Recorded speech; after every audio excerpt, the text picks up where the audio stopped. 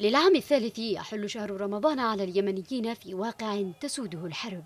إلا أن مطلع هلال رمضان لهذا العام وساعاته الأولى تبدو لحظات مكابدات في هذا الشهر الفضيل وروحانيته التي ألفها اليمنيون وهم يضفون على الصيام نكهة خاصة ومذاقا آخر. بقليل من الفرح وكثير من الأوجاع يحل شهر رمضان على بلد تتقاسمه الحرب وتضاعف من مآسيه. رمضان أو اليمنيين بالكامل يستقبلوه بالحالة الاقتصادية المادية, المادية ضعيفة ورديئة جدا لكن الناس فيهم أمل يعني بالله سبحانه وتعالى. تباين تلك المشاعر يبدو واضحا بين المناطق المحررة وتلك التي لا يزال كابوس الحرب مخيما عليها حيث تشهد المناطق المحررة استقرارا نسبيا وتوفرا في أساسيات الحياة. حصلت تغيرات لكن الحالة طبيعية مستمرة والناس ما شاء الله نسأل الله أن يوفقنا ويوفق الشعب اليمني لكل خير.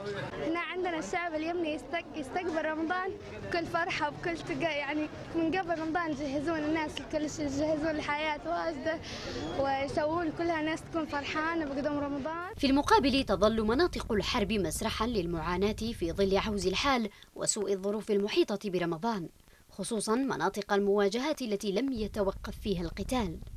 بلد يعيش أكثر من نصف مواطنيه تحت خط الفقر ويعانون من انعدام الأمن الغذائي ويشهد الوضع الاقتصادي فيه تدهورا حادا وبطالة تتفاقم خصوصا في المناطق الخاضعة لسيطرة ميليشيا الحوثي والمخلوع التي تفرض إتاوات مستمرة على التجار مما يضاعف من ارتفاع أسعار السلع والخدمات الأساسية ويزيد المأساة.